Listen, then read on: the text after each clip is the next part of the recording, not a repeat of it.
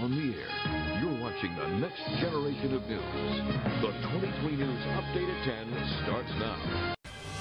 On the air and working for you. The 23 News Update at 10 starts now.